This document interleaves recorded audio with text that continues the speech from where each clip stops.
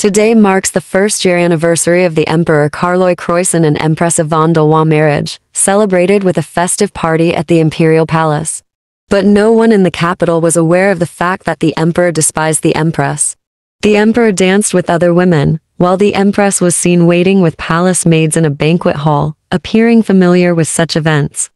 Duke of Valois endured unfair treatment to his daughter, despite her role as his wife in name only. Nobles approached the Empress, but she remained silent.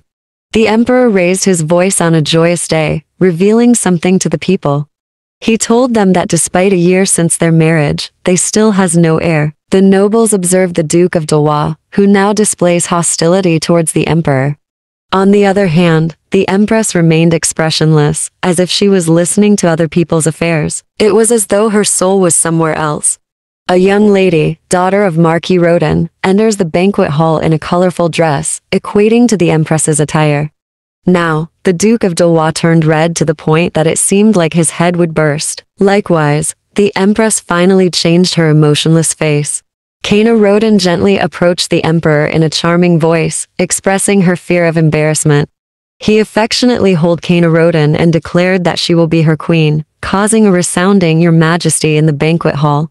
The nobles told him concubinage system had disappeared 200 years ago, but he declared that he took a precious possession of hers and would be rude not to take responsibility. The Duke of Valois couldn't suppress his anger anymore and shouted, Your Majesty?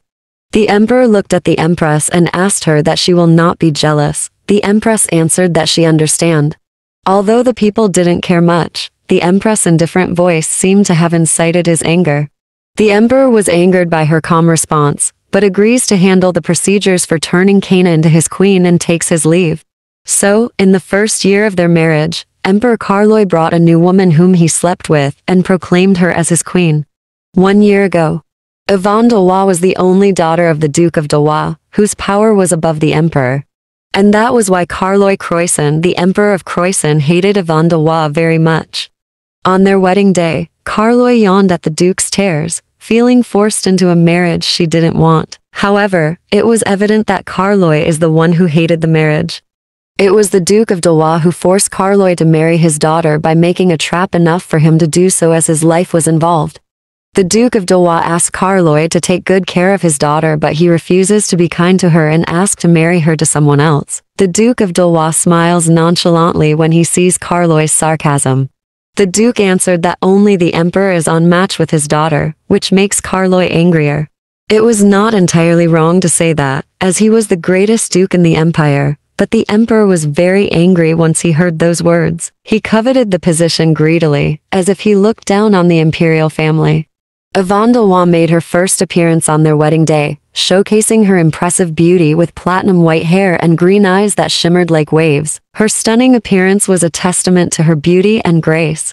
The emperor told her that finally they had seen each other. Yvonne just stared at him with seriousness. Carloy became displeased and started getting goosebumps when he noticed that the eyes staring at him didn't falter, not even once.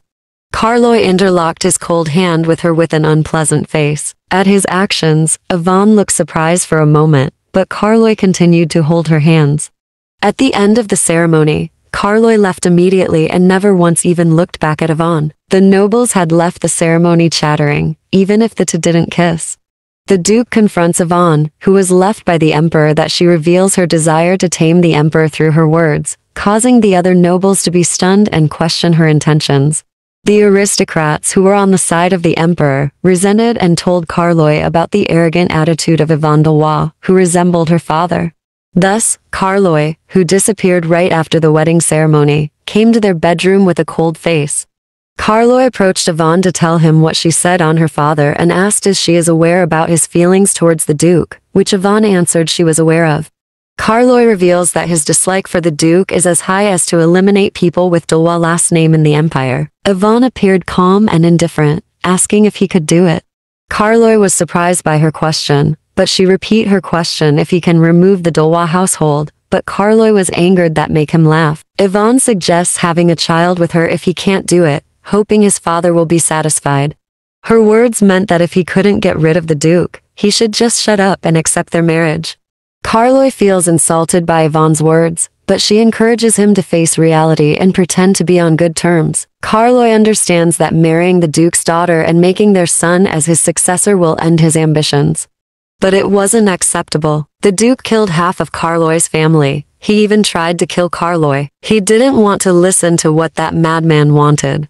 The Empress is advised to be prepared to risk her neck if caught in a dangerous situation, as the old man's blood cannot be put on the throne despite the Empire's destruction. At his sudden threat, his anger was evident. Carloy said each word with emphasis and turned away from the Empress. Yvonne called him quietly, but he didn't turn around. Carloy barely managed to hold back the sneer that was about to come out of his mouth and told he she may be the Empress of this country, but that would be the end of it. After their marriage, the Empress was excluded from imperial affairs and unable to preside over duties, but continued her daily life carelessly and at ease, enjoying her time in the palace. The Emperor and Empress had monthly meals, causing catastrophic consequences. The Emperor advised Yvonne against personal contact with the Duke. Yvonne answered yes to all his questions, not finishing his sentence. He became angry of her behavior. He expresses his dissatisfaction with her father's attack on him over marital affairs, but she replied, claiming it was a conversation between parent and child. The Empress expresses her concern for Carloy's child and warns him that it was for his sake, but he answered that he knows what's best for him. Yvonne continued to eat quietly for a while, as if to accept the Emperor's response, but soon opened her mouth again and asked what she have to do to get him to her palace. Carloy felt something familiar. It was an unpleasant familiarity, and Anward if the Empress were to disappear, he would probably go. Suddenly, the image of the Duke of Dalois at the political meeting came to mind, and Carloy lost his appetite. He stopped eating, throwing the tableware, and ended up leaving the table. He didn't even want to look back. It's hard to understand when she always ignored him, and he doesn't even know why she often stares at people like that. Every time she did that, Carloy hated Yvonne even more. Carloy urged Yvonne for an answer without hiding his boredom. Yvonne agrees to work on the task, and Kina expresses gratitude to Empress, expressing her satisfaction with the situation. Carloy decided to spend time alone with Kina. Kina bowed to Yvonne, and the Emperor and Lady left the palace. Yvonne, who was left alone, was worried. She is unsure how to handle her new role as she has come in with her father's help. Yvonne bursts into laughter. Carloy, disapproving of Kiana's actions, asks her about handing their marriage to the Empress. Kiana, adjusting her headdress, looks at Carloy and answered that she wants to see Her Majesty's reaction. She told him to notify her about lunch with the Empress. She added that Carloy is a cruel husband that is beyond her imagination. But Carloy told her that she showed no mercy to the Empress, and the reason he chose her, she expresses frustration with her contract with the emperor, claiming he is overusing her for private affairs and trying to make the empress jealous. Carloy's face was horribly distorted. That statement was ridiculous to hear. Jealousy was a word that would be used between people with feelings for each other. There was no such thing between Yvonne and himself. Carloy argued that the Empress is emotionless. Her cold demeanor is questioned, as she has the Duke as her father. Carloy scolds Kiana for her dismissive tone, suggesting that it is easier to seduce a stone than the Empress. It was an unnecessarily extreme statement. Kiana was thinking why he is so repulsed by an Empress, who he has no interest in. Carloy asked about her father, Marquis Rodin, a powerful figure in the aristocratic faction, but lacks courage to bring their daughter into the imperial palace, as he prefers his majesty's side over Duke Dalois. Kiana questions the Duke's history of kidnapping imperial family members, mentioning a young Carloy kidnapped in a Duke of Dalois forest. Despite the assailant's attempts, the Duke killed all involved without reporting the incident. Carloy asked about the investigation. She had already informed her father about the incident, which they found all was destroyed and no witnesses survived. She asked if he is finding someone, but he answered that he is only searching for evidence that the Duke did it, not someone, Kina knew he was lying. Yvonne's father walked around the palace with a red-green face three times a day. Of course, all of this was reported to Carloy. The head attendant recounted the facts he had heard of. The Duke shouted at Carloy with an angry face. Carloy orders Gordon to urge the Empress to finish her job and complete it promptly. Gordon told him that he will word his message to the Empress mildly to avoid upsetting the Duke de Wa, but Carloy shouted angrily. Gordon leaves office. Carloy remembers the Duke of Dewa, a vivid memory on how he whisper on his ear while he as a child can do nothing. The Empress, who received the Emperor's message to speed up the process, sent a brief reply that she will keep it in mind, without saying anything else. The answer was very much like Yvonne. After two weeks of entrusting the job, there was no progress. That caused Carloy to become furious, and went directly to the Empress Palace. The handmaids were surprised to see the Emperor, who hated the Empress, step in the Empress's palace entrance and walk into the bedroom himself. Carloy felt a lingering sense of the uneasiness circulating throughout the Empress's palace among the commotion. The handmaids guarding the entrance tried to stop the Emperor. Before Carloy could say anything, the attendant, Gordon, yelled at the maids and asked if they were crazy for trying to stop the Emperor, and told them to step back. Carloy found the bedroom dark and unable to see well due to closed curtains. He turned on the lights and was surprised to what he saw. The floor was covered with shattered glass. Carloy tried looking around to see what the hell happened.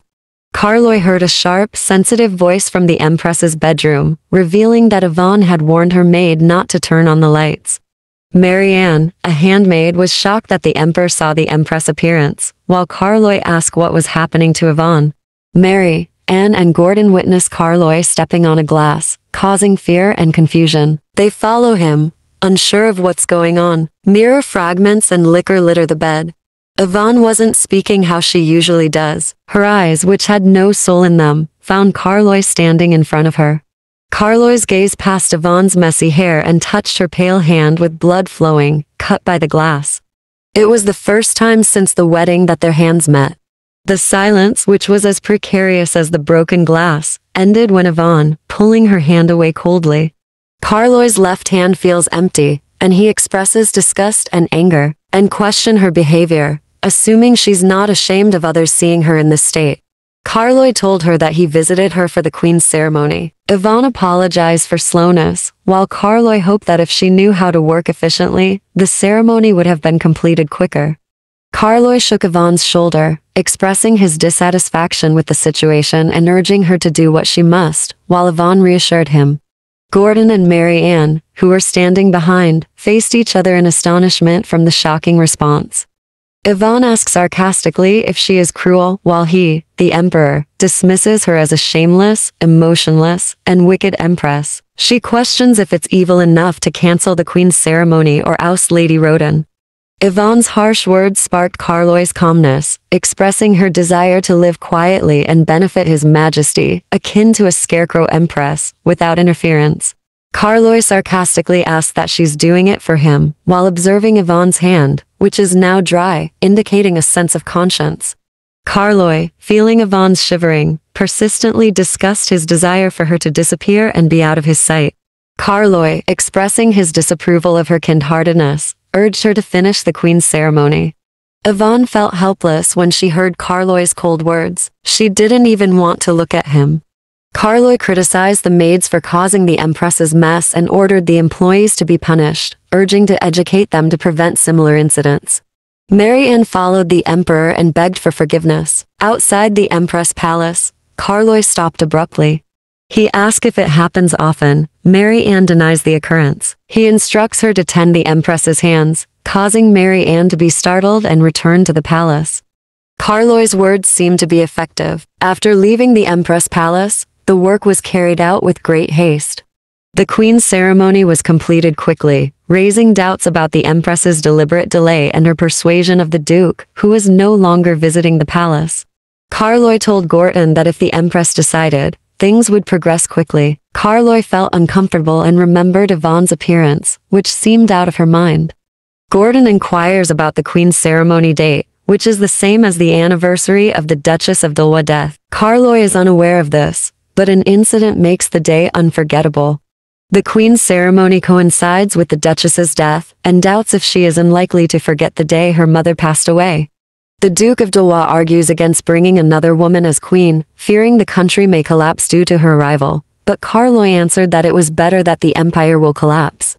The Duke told him that there were rumors that the imperial family's affairs would be entrusted to Lady Roden, despite the Empress's presence. Carloy questions that he always bothers him that his daughter is weak, so he doesn't trust the imperial family's complicated work, especially considering the Empress' health. Carloy, eloquently expressing his feelings, reassures the Duke that the Empress has never had any complaints due to her understanding of his feelings. The Duke bit his lip, as his blood boiled when he saw Carloy lying naturally, pretending he had done it for the Empress. The Duke knew that the Emperor, subtly excluding the Empress, but Carloy argued that he entrusted the Queen's ceremony to the Empress. The Duke of Delois questioned him if it really is the Empress that working on the Queen's ceremony, since she would not be crazy choosing a date that coincide with his wife's death anniversary. A terrifying silence came. Screaming in front of the Emperor is something the Duke of Delois sometimes does, but it's been a while since he's been this loud. The Emperor asked if he his, saying that it is him who choose the date, and called the Duke crazy. He told the Duke that he really is an old man and expresses that he don't have any care about his wife's death. No one dared to stop Carloy from leaving the conference hall, as he was venting his dawning anger everywhere. Gordon questioned Carloy about the Empress's deliberate actions, implying it was to give the Duke an excuse to blame His Majesty. It was a reasonable doubt, but Carloy didn't agree easily. He thought she was unlikely to do this, but Carloy laughed at his own thoughts. He didn't know anything about Yvonne. Carloy was harsh to her at the Empress's palace the last time. She might have felt hurt by it and wanted to empower the Duke. Gordon informs Carloy that Lady Roden wants to meet him. He told her to meet at the indoor garden of the annex, known for its glass ceiling. Carloy, not interested in the garden, doesn't usually visit it, but it's symbolic. Carloy, who was heading through the Emperor's passage to the indoor garden, suddenly stopped, causing Gordon and other attendants to entangle their steps and stop as well. Carloy questions why the Empress is there without permission, but decide to ask her himself. The maid Marianne and some of the handmaids were the first to notice Carloy approaching. Yvonne was surprised to find Carloy after their last meeting. Carloy couldn't take his gaze off her hand. He could remember clearly that it was the left hand that got injured the last time, but to reach it out to the rain without a bandage, is she really crazy or does she just not care at all? He asked what is she doing in that place, since it can only access with the Emperor's permission, she answered that she didn't know. Marianne, the maid answered instead, that the servants there didn't also know and just let them in. The emperor implied it wasn't the empress's fault and called Gordon, and ordered the indoor garden workers to be relocated and ensured the staff was smarter. Yvonne apologized to Carloy, claiming she didn't know about the incident and would never return to the Anchorum, urging him not to punish innocent servants. Carloy is irritated by the sarcastic comments, assures the Empress that they were only relocated. The conversation intensifies with rain, causing tension. Yvonne appears exhausted. Carloy questions the Queen's ceremony date, claiming it was chosen based on the anniversary of his birth mother's death.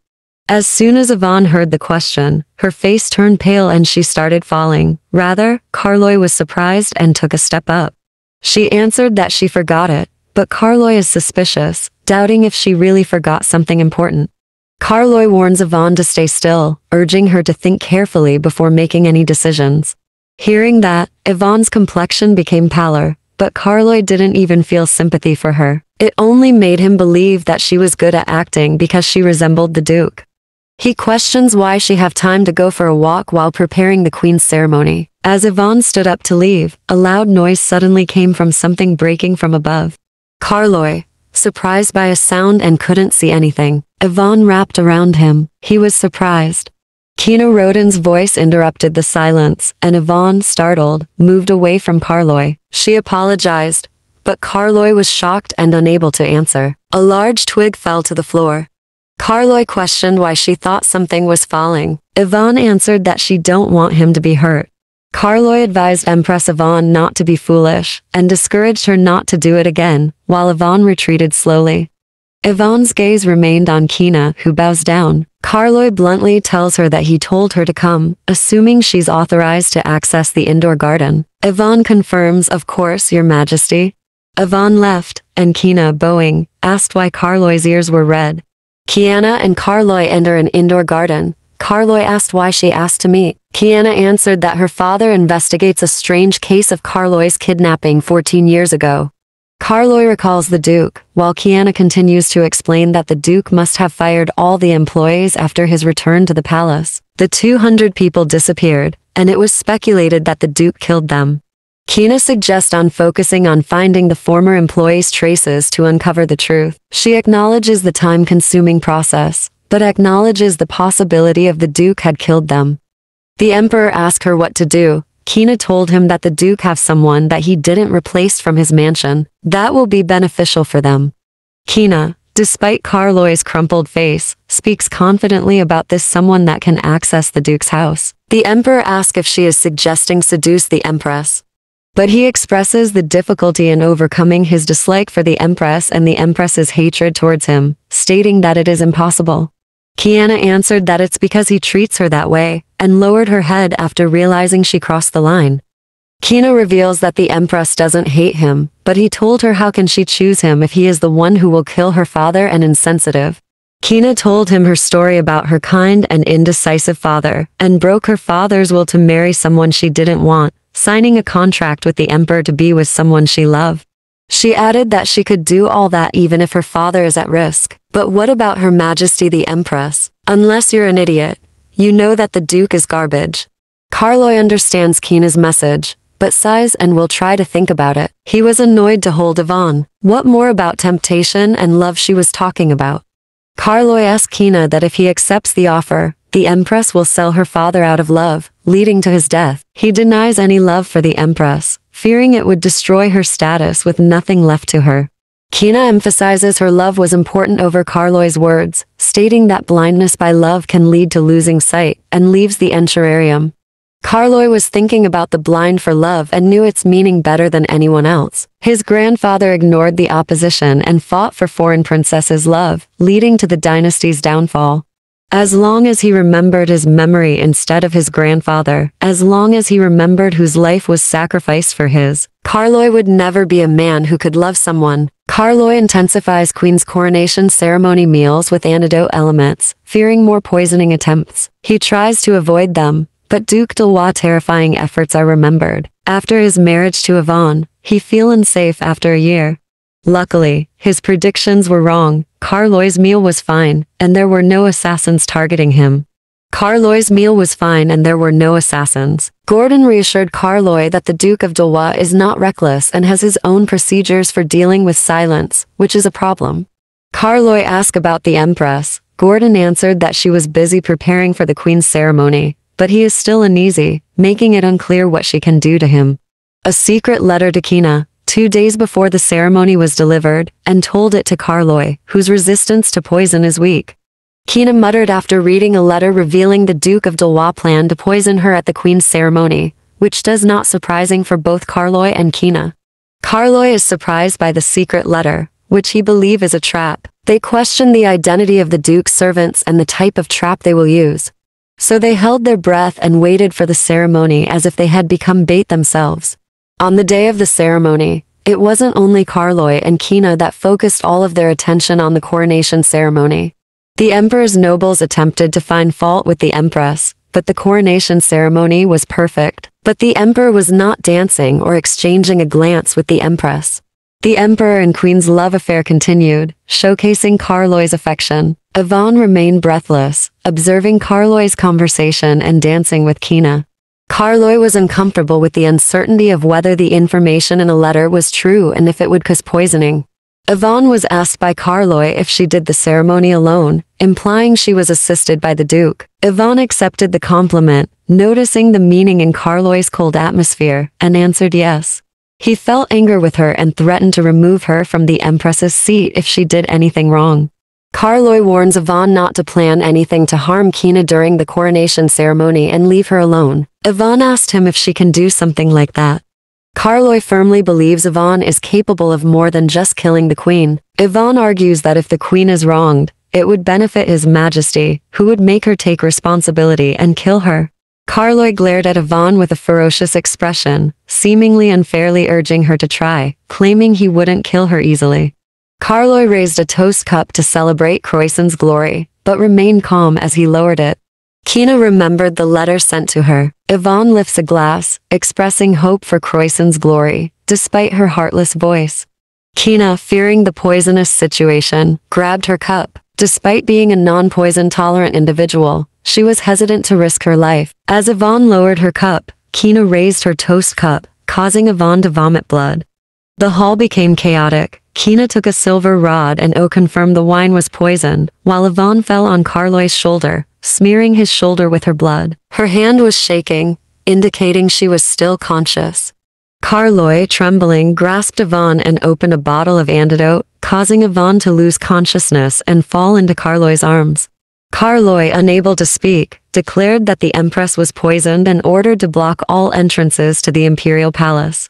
The Empress was poisoned, and the Imperial Palace was flipped over. Investigation began, but no evidence and witness was found. As they were killed, even the Empress attendants. Carloy believed it was the Duke's work, as he was familiar with it. The Queen is suspected of poisoning the Empress during the coronation ceremony, but the Marquis of Roden denies it. The Duke claims the Marquis poisoned the Empress, but no evidence supports it. The investigation ends with no lead and no evidence. Nevertheless, the Duke could not intentionally try to poison his daughter. That was what Carloy gathered from his reaction. His face was as surprised as a person who had been in an unexpected situation. But the Duke wouldn't make a mistake, and he didn't have anyone to change glasses, except for only one person. On the third day, Carloy struggles to understand why he was in the Empress bedroom and why he hastily fed the antidote, since he wants Yvonne's death if he didn't act.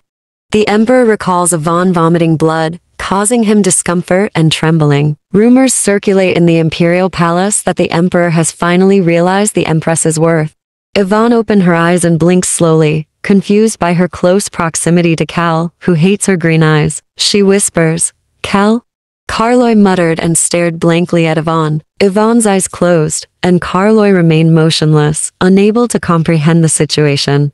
Carloy was disturbed by the Empress's bizarre behavior, considering she called his nickname and the possibility of having another man named Cal, which he found absurd and unsettling. The feeling of being called by his own nickname reminded him of a person he missed, but he shook his head. He must have gone crazy himself. They are not alike. Why the hell did he think that? Carloy, trembling, contemplates Yvonne's words, deciding to live quietly in the palace to benefit his majesty and avoid any disturbance.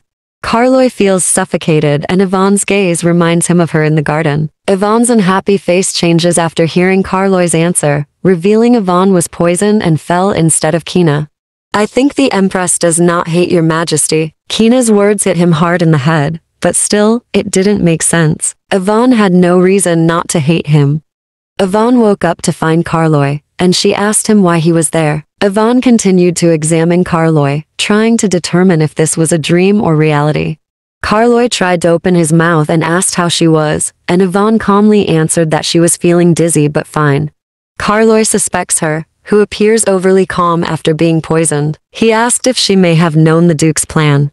Carloy questions her about the poisoned glass, if she knew about it in advance. Despite her unemotional tone, she answered she wouldn't poison herself, but Carloy remains unconvinced. Yvonne's strange attitude fueled Carloy's crazy speculation, as he became convinced of her drinking the poisoned wine and remembered what Kina said. If you are blinded by love, you lose sight. Kina's voice hovered in Carloy's head. The image of his grandfather who sold the country for his love was there too. Even before the rational judgment was over, Carloy acted instinctively. He grabbed Yvonne's cold hand on the bed. At his unfamiliar appearance, Yvonne turned her head back with surprised eyes and looked at Carloy. Carloy and Yvonne experienced a strange tension and silence, and Yvonne's eyes widened in shock as Carloy told her he was worried with her.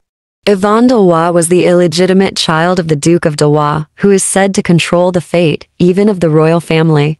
At 12, Yvonne Delois was confined in the Duke's basement, often subjected to beatings. However, she was not the real Yvonne. After her daughter's death, the Duke brought in an illegitimate child, Lillian Liu.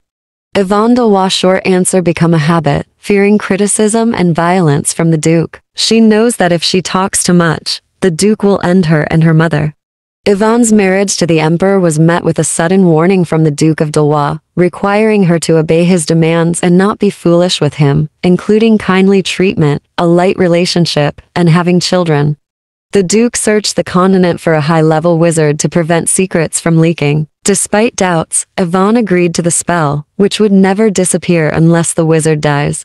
The Duke said to her, What? Don't worry. A girl who can ruin it once can ruin it again. Yvonne answered that he doesn't know he was the crown prince back then. Yvonne wanted to rip her ears off because the Duke never got tired of talking about what happened 14 years ago, but she hid her feelings. Yvonne is confused by the image of her brutally killing the Duke, and the distortion of the word foolish you to the fact that she saved a boy who was almost killed by being kidnapped. Yvonne is warned to be respectful and watch closely the Emperor, as the Duke's blood doesn't change. Despite her initial doubts, she agrees. Yvonne muttered alone in her empty room. The day before her wedding, Yvonne thought while lying on her bed, if as the Duke says, if she jumps out like a madwoman will Carloy respond? Would he react because she was his enemy's daughter? When she imagined Carloy in her childhood, but it was unlikely that he would be the same. There is a demon here, obviously, this has to be the demon's work. He tried to kill my uncles and my father too. On that day, a face that became bloody, with limbs being tied up, was Carloy. He was talking while shedding tears. That hate and spite were visible on his face. Despite her reflection, the man was still in a bad mood, causing him to become angry, while she deemed it wise not to disclose her true identity. Contrary to his solemn words, Tears were continually flowing from his young eyes. How harsh must it be for him, who was young, to be in such tears. Lillian comforted little Carloy, who was crying, while urging her to put her dirty hands away. She recalled Carloy screaming, imagining a dirty temper. Carloy initially mistakenly thought Lillian was a boy, but it wasn't her fault. Lillian, not raised to be girly, didn't correct the misunderstanding. She was hopeless. Unless he has ancient wizard class eyes, there is no way he would know it was Lillian back when by looking at her now. Even now, whenever she looked in the mirror, she felt unfamiliar with herself. No, she was rather disgusted with the appearance that resembled the Duke too much. When I go back, I will definitely find you. I will never forget. I promise you, Lou. Yvonne prays for a miracle, promising to forgive past misfortunes and only ask for one this time. Yvonne whispered, as if reciting her prayer. Perhaps miracles could happen, and he might remember her. Lou, I'll make sure you don't suffer anyone. I will protect you. She wonders if he'll keep the promises from his youthful days when he didn't know anything. Maybe it's not going to happen. Yvonne realized that hope is a futile illusion grasped by humans with low probability when she saw Carloy at the wedding. Yvonne, nervous and anxious, entered the wedding hall, amidst a familiar threat from her father that her mother's life is within his hand, who wished for her happiness. She looked at Carloy in his eyes with an intense desire for him to recognize her, but his expression only got more and more ugly. He didn't recognize her. Carloy abruptly left the ceremony, leaving Yvonne alone, feeling a break in her heart. It was strange and awkward to see Carloy expressing his anger as he suddenly came into the bedroom. Yvonne felt it then. As she wasn't the old Lillian Liu, Carloy is also not the old Cal.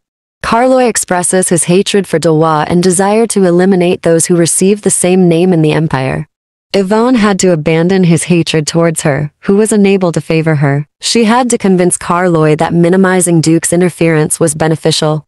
Though Yvonne soon learned that she couldn't even do that, Carloy's hatred seemed to have erased all options other than hostility. She can't be honest with Carloy, and she can't comfortably side with him. Nevertheless, it is impossible to win Carloy's favor by listening to the Duke's words. Yvonne, feeling hopeless, rubbed her wet eyes, a strange occurrence. After a long time of crying, she hoped to escape hell, but instead, she entered another nightmare, unable to do anything about it. She was crying and lonely, muttered to her mother. Despite her noble position, she fell into despair, reminiscing about her past happiness, even if she is poor. Yvonne did not understand the many ways of the Duke of Valois, who suddenly appeared as her father. For example, why he is harsh to her but so generous to her mother. Denise is advised by Duke not to stay outside for extended periods due to health concerns. She wants to spend time with Lou, but Denise is advised to take care of herself.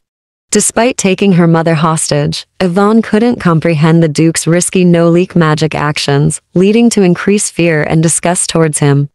Denise, Yvonne's mother, is worried about her daughter's marriage, but is unable to attend due to her condition. She has improved since visiting the Duke's residence, where she has a luxurious bed and servants. Denise wishes to attend the wedding, but the Duke warns her it's too dangerous.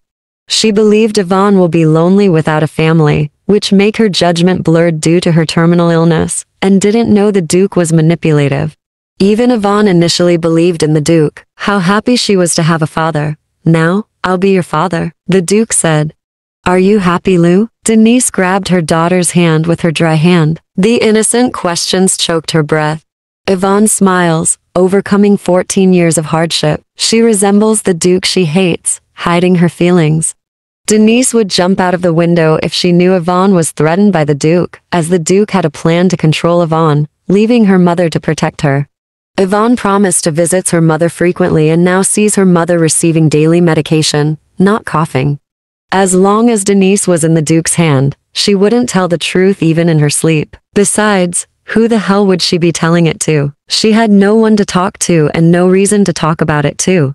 To Carloy, Yvonne is a cruel and evil empress, who resembles the disgusting Duke, who was able to do whatever he wanted, without hesitation. The Duke anticipated Yvonne's eventual abandonment of her Moth, and as a backup, he sought a spell to protect her from the possibility of forgetting her mother. Yvonne realized this fact when she drank the poison that was intended for Kina without hesitation. She really wanted to run away. Even running away meant death, she was willing to accept it. Though it was strange, because Carloy's expression was unexpected, she obviously knew that he always wanted her to disappear. But what kind of expression was that? She had a long ongoing dream. It was her dream as Lillian Lu's days. 12-year-old Lillian Lu was a young child who lived in a slum, set in a barely inhabited dark forest with her mother in the Duchy of Dewa. Lillian Lu was living a decent life with what she had. A loving mother's voice hugged and whispered to her every night. Denise suffered a terrible illness, requiring expensive medicine. Poverty and illness often mated, but Lillian Lu became responsible for her livelihood at a young age, facing numerous misfortunes. Lillian worked for dark forest thugs, providing money and help in avoiding security forces' suspicion. She delivered items, cleaned their dwelling, and labored for a small amount of money. Lillian's lack of guilt and conscience made it easy for the thugs. Lillian encountered Carloy, a young boy tied up in a dirty thug's den. Initially, he was a victim of thugs, but this was the first time she had seen such a child. The boy warned Lillian to run away, assuming she was innocent. Lillian observes a boy who is focused on others without considering his situation. A thug enters and confronts him about his carelessness, warning him of losing money and being kicked out. A boy's expression of betrayal and contempt towards Lillian Lu was buried in her mind, asking if she was with them. A thug retaliated with a brutal blow, leaving Lillian Lu in fear, akin to witnessing a grown-up beating a child. A beaten boy becomes quiet and tears up, and Lillian advises him to shut up. The boy's bloody face is terrifying, and Lillian rubbed his face with her hand, causing him to look at her with disgust. Young Carloy confronts her, who appears to be a criminal. She wipes his face revealing bloody marks on his face and head. After wiping his face Lillian exclaims, the boy is so pretty. Lillian stuffed the bread she had snuck from the kitchen into his mouth. If he has to close his mouth to be pretty, she'll make it that way. The frowned at her, but ate her dewy bread, a dry bread made with barely any dough. He was more treasured than expected, as he had never tried it before. Lillian offers to give another bread if he say his name. Both rich and poor families experience hunger, but the boy told him if he thinks he was a dog. She will give him panada jam if he will tell his name. He answered that he was Cal. Lillian eagerly observed Cal's dirty appearance and asked him how old he was, which he revealed to be 13 years old, which is one year older than her. Lillian took her ointment and applied it to Cal's mouth. He groaned in pain. Lillian walks towards the door, counting the steps. She hears a sound, and Cal cries out, urging her not to leave him alone. Lillian approaches Cal and squats next to him, feeling his tension relieved. Cal was kidnapped by someone seeking something from his house. The family hasn't been contacted since receiving the advance payment. She runs errands for the thugs and suspects the thugs might have to kill Cal. The boy cries resembling a curse, remained unresolved, despite Lillian's efforts to care for his wounds, provide food, and stay with him at night. In a place filled with blood and tears, Lillian's humanity seemed insufficient for him, as he hated her for not providing much help. Cal would plead her not to leave him, and Lillian felt like a mother bird watching a baby bird. Cal, ask her why is she helping them. Lillian, struggling with her sick mother, is helping those bastards as she has no other source of income. Lillian's financial situation is uncertain due to her need for expensive medicine. Her sudden silence reflects her depression and despair. Cal, feeling uncomfortable due to Lillian's silence, asks her to search his pants. However, Lillian, as if he was a bold boy who knew no shame, put her hand inside Cal's pants. There was something around the waist. It was a pocket. Inside, there was a brooch that looked very expensive, even for Lillian who knows nothing, it had a sparkle that only the real thing could exude. The brooch alone sparkled in a dark room. Lillian is frustrated and wanted to give back the pocket as she refused to release him. She believes it would be obvious that he was the one who freed her, but he insists on keeping the pouch. Lillian, however, insists she cannot let him go. Lillian feels strange after seeing Cal being beaten, who seems to have the spirit to tell her to run away. Despite being cherished, he gives her something. She can't guess how expensive it is. Cal, annoyed by Lillian's smile, insists on her frequent visits. Lillian agrees, believing selling this would improve her mother's condition and allow her to accompany Cal for the night. Fourteen years after Lillian Lu became a Valois, her good traits changed naturally. She whispered to herself as if she couldn't see Carloy's disgusting look towards her. In a place where there are so many people, she deceived herself as though she couldn't hear the sharp words of Carloy, who wanted to insult her, like she endured all the violence of the Duke. This is nothing. If you stay still, this will also pass. Carloy criticized Yvonne for not listening to him, revealing that she is the Duke's daughter. She apologized for not responding to his questions, but now used a softer tone to criticize her. Fourteen years of tact and patience were of no use before Carloy. Every time she saw him, Yvonne had to use all of her strength to suppress the urge to grab Carloy by the collar. For 14 years, Carloy seemed to have a knife in his mouth instead of a tongue. The invisible sword sometimes felt more painful than the Duke's hand. The pain was so painful. She came here with determination, but it was painful enough that the determination was overshadowed. Dot dot and no one else but the Cal of her childhood hates her with all his heart. Of course, Yvonne was more distressed. When Carloy sees her, he wouldn't be thinking of Lillian Lu. Carloy dislikes the Duke's frequent visits to the Empress Palace, which Yvonne finds nerve-wracking as he constantly enters and exits, causing her to feel overwhelmed and potentially insane. The Duke reveals Denise's condition after four months, promising to work harder and can't see her mother if the outcome isn't good. Yvonne, unable to cope with the Duke's words, shrinks due to bad memories. Yvonne, nervous, tries to calm down and ask Carloy to sleep with her, as if she has to pray on her knees. Her words hovered narrowly on her tongue, but the servants of the Empress's palace were glistening their eyes, watching Yvonne's every step of the way. Yvonne was forced to repeat the best she could, asking if he would come to bed at least once, even if Carloy refused. Since she became empress, Yvonne could not see Denise. She never did. When Carloy suddenly appointed Kina as the queen, she vaguely thought it would be just an extension of that stupid thing. It was more effective to turn the country upside down rather than play around in the bedroom. The queen in Croissant was an unrealistic institution, but Carloy brought Kina to lunch, causing her to ponder her feelings for him. She wished to be Kina Roden, a thought Yvonne would share. She suddenly remembered what Cal had said in her childhood. Cal said he wanted to live well with his loved ones. Yvonne thought at the time that it was a very trivial and insignificant dream for a child to dream of such a precious family. Carloy's voice resembles an old one she doesn't want to remember, revealing a new side to Kina that she's never seen before. Lady Anson visited Marianne, a commoner who became the lady-in-waiting due to her service to original Yvonne from her Duke days. The Empress is suddenly acting strange, and Lady Anson is waiting for her. Because Yvonne, who was especially cold to them, was too generous to Marianne, and the only one to understand Yvonne well was Marianne.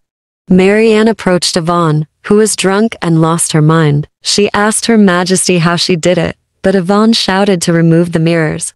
Yvonne, the Duchess's daughter, often resembles the Duke, which is ironic to Marianne, who remembers the real Yvonne resembling her mother. Yvonne was frustrated knowing how she have inherited the Duke's physical characteristics.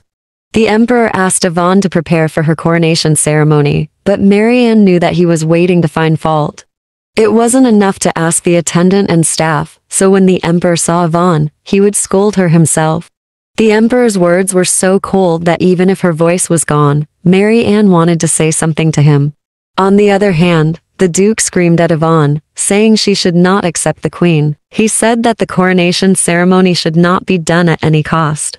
After the Emperor criticized her for what she was doing, the Duke came and verbally abused her repeatedly. Yvonne was at a loss between them. She understood that Yvonne must be going crazy because of that. Though it was not Marianne, but Carloy who saw her desperate eyes, Carloy made an unknown look as he stood in front of her. Yvonne was lost for words and looked up at Carloy. He looked down at her in the same way. He suddenly grabbed her hand.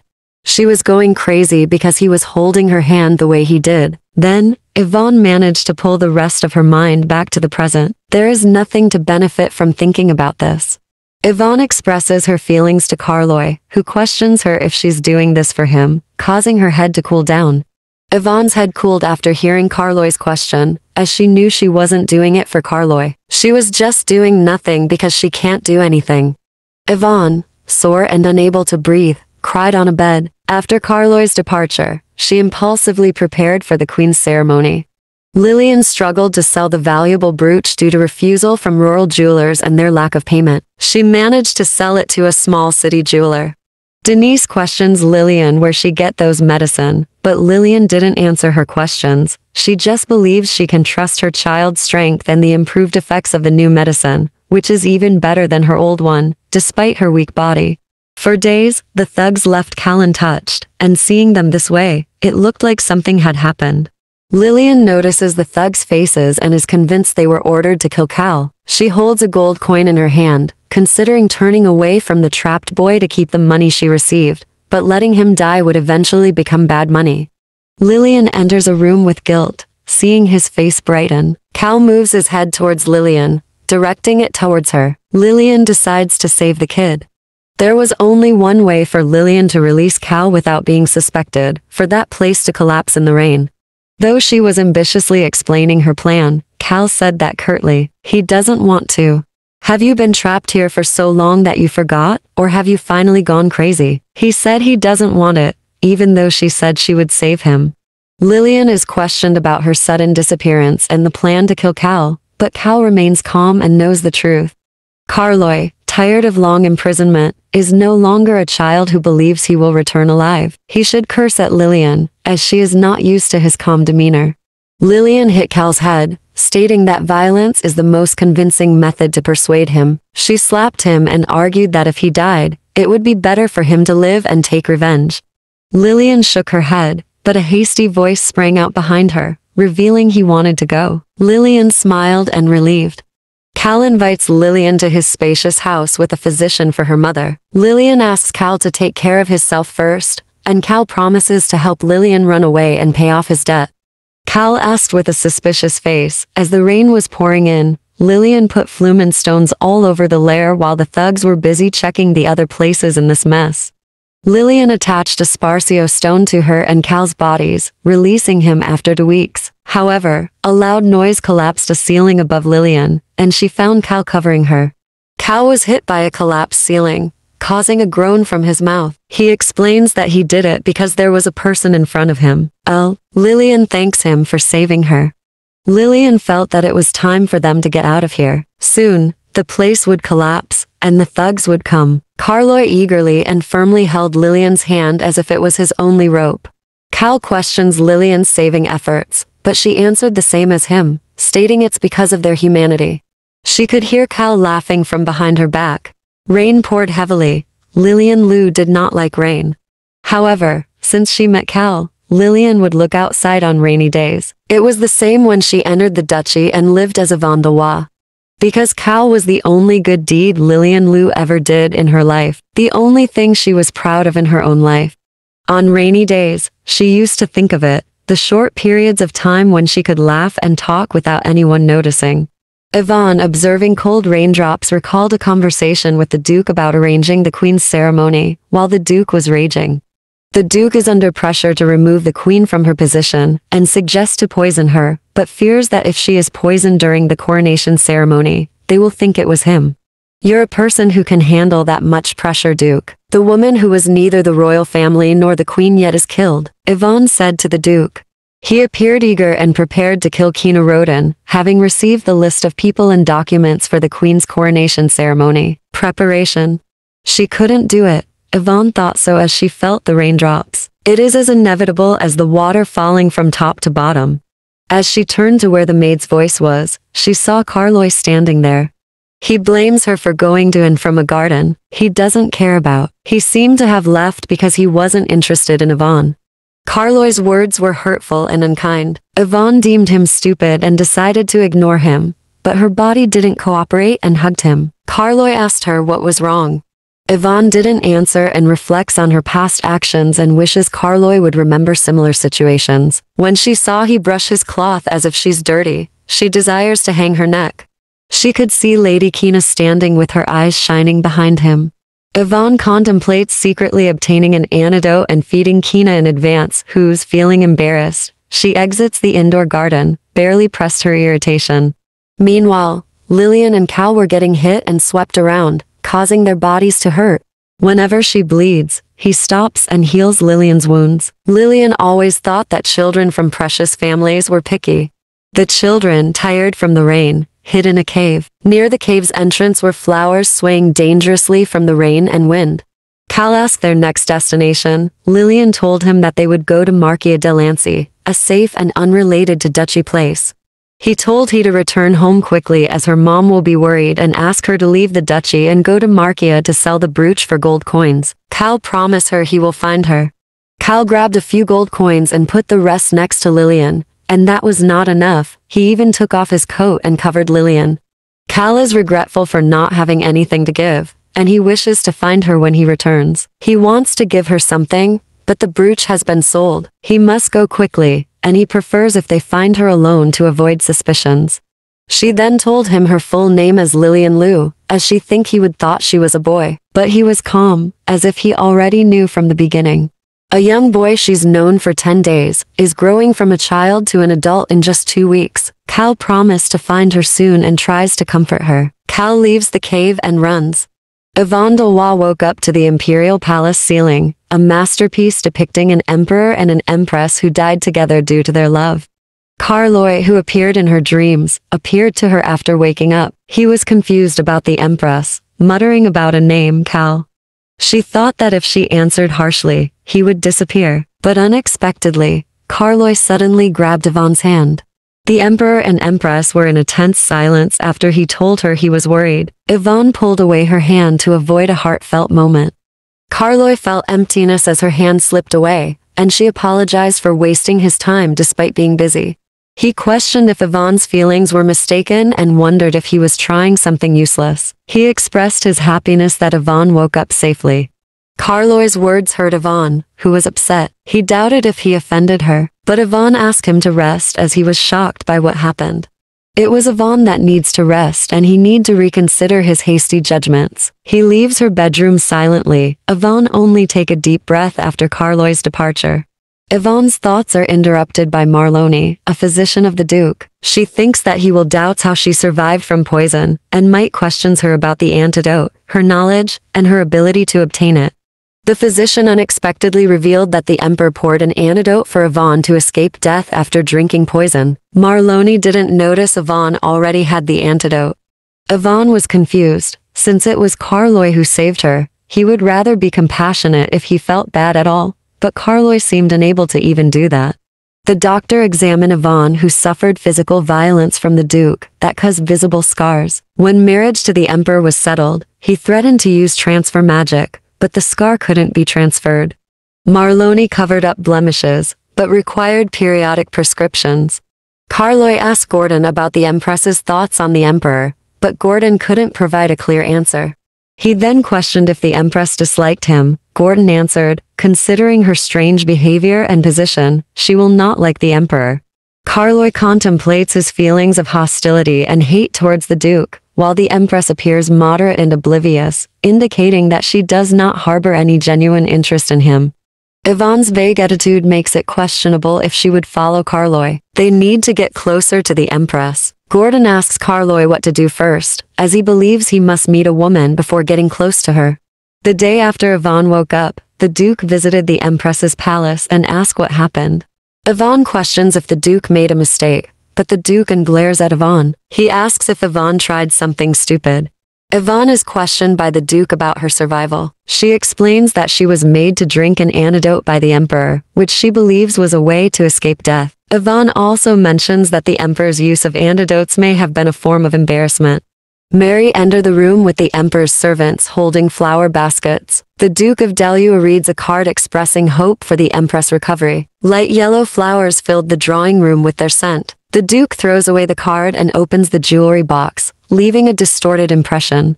The emperor sent a jewel box containing the wolf's tears necklace, a famous symbol of the empresses of Croissant. Yvonne had never received it. That's why the duke was annoyed. The duke asked Yvonne what she talked about with the emperor. She replied that he was worried. Yvonne lost in thought, questions by the Duke about them planning together behind his back. Yvonne told him that she had came from the dead and the person who changed is the Emperor. The Duke closes the jewelry box without answering, and cautiously calls her to keep an eye on how the Emperor changes. Carloy and Kina are having tea time in the Imperial Palace garden. They discuss about him sending the necklace to the Empress. The Marquis Roden told him that what he did greatly affect Kina and some nobles will join the Duke. The Marquis of Roden, aware of Carloy and Kina's attempts to use the Empress to attack the Duke, but only know that Kina volunteered due to her love for Carloy. Despite being falsely accused, Kina remains queen. Carloy warns the disgruntled Marquis of Roden to stop the Duke's faction from acting up. The Marquis expresses his dissatisfaction with his daughter's blatant side with the Emperor and reminisces about the old saying that raising a child is no use. The Emperor's plan is to acknowledge the existence of the Empress. Carloy was asked if he already received a response from Yvonne, but he remained silent. Yvonne and Marianne were surprised to learn that His Majesty had sent her a message to have dinner at the palace annex and sent her flowers. Yvonne is preparing to confront Carloy and create a plan. She promises to be on time and provide an answer. Anson and Rune leave the flowers in her bedroom, while Marianne watches suspiciously. Yvonne couldn't attend dinner with Carloy due to a fever caused by flowers sent by Carloy. Lady Anson accidentally brought Lithuania flowers to the bedroom cabinet, unaware of their existence. Lady Anson questions the Emperor's knowledge of Her Majesty's inability to get close to Lithuania flowers and believes the Emperor is determined to harm the Empress, but Marianne dismisses this theory and told them to get out. Marianne told her not to believe Lady Anson. Lady Rune informs Carloy that they can't have dinner with him because of Yvonne's sudden illness. Carloy sees Yvonne, who appears to be feeling well, but has a frown on her eyebrows. Carloy is annoyed and asked if she is well and asked if she feels sorry, but which makes him feeling embarrassed. Yvonne did see it coming, so she's not surprised. He offered to take a seat, but she and her handmaidens noticed the decorations on the table, including Lithuania flowers. Yvonne was shocked to saw a vase with Lithuania flower while her maid was whispering about the true intentions of the emperor. Carloy asked him the reason for not sitting down while her maid explained that if she gets near Lithuania flower then she would feel sick. He then understands and commands the maid to take the flowers away.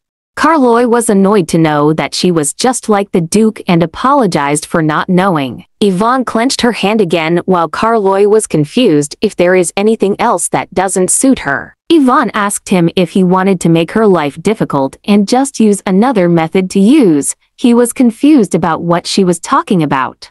Yvonne explained that the flower he sent yesterday was mixed with Lithuania and affected her body, but Carloy asked why didn't she just check it more carefully that leads to Yvonne being upset of him not apologizing instead of blaming her. She added that she can't also eat peach because it will cause her asthma. Carloy was annoyed knowing all her characteristics are similar to the Duke. She felt embarrassed and angry after hearing what he said and reminding him if he didn't like her, he should just stay away from her like what he did before. talking so intimately with her is not her fault and asking him not to complain about her while her tears were flowing down. He just realized those hurtful words he said and became regretful. He explained that he was like this not because he hates her, he just can't differentiate her from the Duke. She realized how deep he hates her while Carloy changed the topic and inquired about the tear of the wolf and told her he should have given it to her a long time ago and not treating her like a queen is his fault. He was trying to compensate for his wrongdoing and a keg to consider accepting them. Yvonne answered that it was okay while Carloy was relieved to hear her answer and asked to meet occasionally and excuse himself.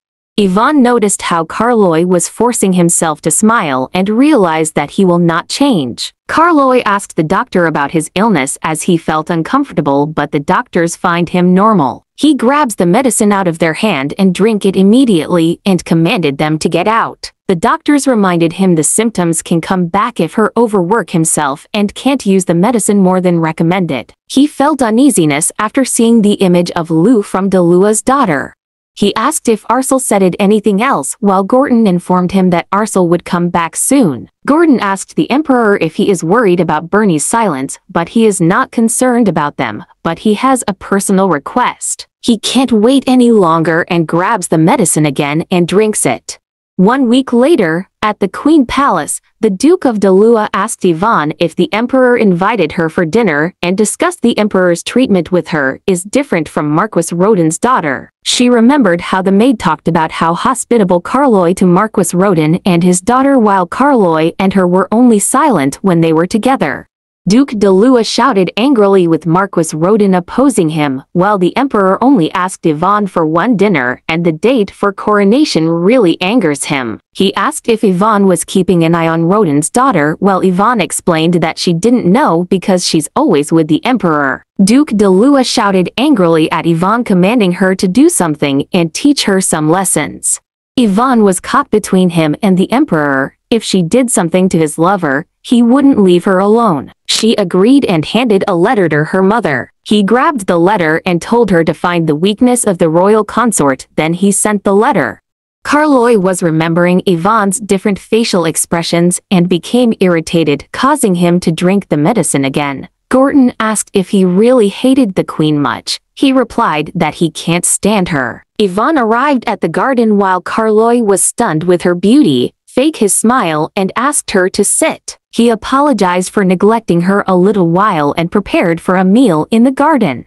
He compliments her necklace, but Yvonne was confused by the way he looked as if he was uncomfortable seeing the necklace on her. He chose the garden since he noticed she loves flowers. Yvonne didn't actually like flowers, but she answered Carloy that she really love it. Carloy was surprised to her answer while Yvonne remembered the young Carloy who loves flowers.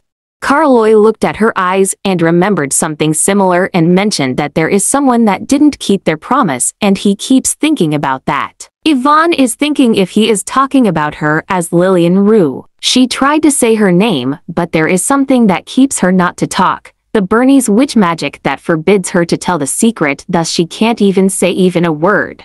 Carloy reminded her that Abra Ruff is coming. It is the day celebrated in honor of the White Wolf. She remembered that last year, she was dismissed from the Abra event of the royalty and wondered why he mentioned it to her. The emperor asks her to prepare for the royal festival this time together with the royal concubine. Yvonne felt the pain knowing that this is only a formality, but even if this is only a formality, he should have told her first, the queen before the royal concubine. She accepted it without complaining while Carloy excuses himself. She replied that he didn't have to care about her. While signing some documents, he remembered Yvonne's appearance which became thinner, her eyes that were similar to Lillian and her statement to not care about her caused him a headache. Yvonne received a letter from her father that the emperor is having a conspiracy, take advantage of her so that the concubine can go freely. The Duke wants her to request to sleep in the same bed with the king. She remembered how she was ruthlessly rejected by Carloy when she asked to sleep with her. But she has to do it as it is the Duke's command. Her maid suggests her to invite the king first. Though she didn't want to be hated again, she couldn't see her mother forever. The emperor was surprised to receive a letter from Yvonne as she hasn't taken the initiative to ask for it. He told Gordon that he has to go to the queen's palace. He is wondering if she really invited him to have tea only or any other intentions. Yvonne and Carloy were having tea while he was thinking if she actually only wanted to drink tea until Yvonne asked him if he could visit her bedroom. He was shocked from what he heard and asked again. Yvonne repeated what she said and saw Carloy's stunned face. He was disappointed but if really wanted to manipulate the queen, he would have to do it someday. But he was confused with her face and understood that it was the Duke's trick to try him. He agreed while Yvonne was surprised with his answer. Carloy told her that he will come over tonight. He wanted to check the situation and find Yvonne's reaction just in acting. He told her that it is fine if she doesn't like it but Yvonne disagreed and answered that it will probably be alright. Marianne noticed that the Emperor didn't touch the cakes. Gordon told her that the Emperor enjoyed hordui bread. Yvonne was surprised to know that Carloy liked hordui bread, she remembered how she stocked the bread in his mouth and asked the maid to get some and prepare piata jam. Yvonne noticed Carloy's embarrassed face and told him if he asked her, she already had prepared it. He answered that he didn't like it that much, but she revealed that she really likes it. Carloy was surprised she eats that kind of bread and wondered if she was just acting. Yvonne revealed that she was used to this kind of bread and jam since it came from Dalua territory. He was surprised that the Duke's daughter who is the Queen Alcetet this kind of bread. Carloy was getting ready and even drank a lot of medicine to suppress his stomachache before going to Yvonne's bedroom. Gordon was worried for him not to get some sleep in the queen's bedroom and suggested to do it on another day, but the emperor refused because it was better to do it sooner than later. Gordon was worried that the queen might take orders from the duke and take action against the emperor. He reassured him not to worry too much. Yvonne is also preparing and is also uncomfortable the Emperor might lose his mind and wonder why Carloy still remembers Lillian Lu. She encourages herself that she will be able to stand him. Suddenly, the Emperor had arrived. Carloy is truly multifaceted and a person that makes her angry. There was awkwardness between the two when Yvonne asked Carloy if he is unwell as he don't look so good. Gordon rushed inside the bedroom and shouted at Yvonne asking what happened. She looked at his eyes wondering if this is how others look at her, which thinks that she can kill the Emperor. She urges Marianne to call for the Emperor's doctor. The emperor's doctor asked if he was bloated and nagged him of taking an overdose of medicine. He also asked if he encountered any inconvenience or discomfort, while Yvonne realized that she is the reason for his discomfort that leads to him being sick. Carloy told the doctor that he is fine and just to V him the medicine. Gordon didn't want to leave him, but Carloy asked him what he would do and realized his mistake. He faced Yvonne and apologized and asked for any punishment, but Yvonne told him that if she really wanted to harm the Emperor, she would have acted a long time ago. Carloy was surprised to hear it from Yvonne. Carloy apologizes while Yvonne told him that he finds it very inconvenient and she doesn't know if the pain reliever will work. It will only relieve his spasm, but not his discomfort. He was shocked and explained that he's just busy with work lately. He asked her to sleep while thinking that she was the one that forced him to come for the Duke's sake and assured her that he won't do anything. She approaches the bed while Carloy is restraining himself thinking that she was the Duke's daughter. He can't focus and pretends to be sleeping in one position. Suddenly, he felt that Yvonne woke up but didn't open the door. He was assuming that she went to the garden. He wondered what she was doing there in the middle of the night. He followed her and saw a small garden, the garden that the previous emperor gave to his empress, who he loved so much. He saw Lillian Lu again and rubbed his eyes and asked Yvonne the reason she hadn't slept. She didn't answer but asked him if he was coming back to the emperor's palace, but answered her that he just followed her because he couldn't sleep. He looked around the garden and saw the vibrant colors of the flowers and asked her if she didn't get tired admiring the flowers whenever she was bored. She wants to answer that it helps with boosting her sustainability to endure time and wants to ask him also why he spends so much time in the garden, the things that she can never say out loud. She answered that it helps clear the thoughts in her mind while he asked again the things she wanted to completely forget. Yvonne answered him honestly that she was thinking the reason of his strange attitude towards her which he hates so much.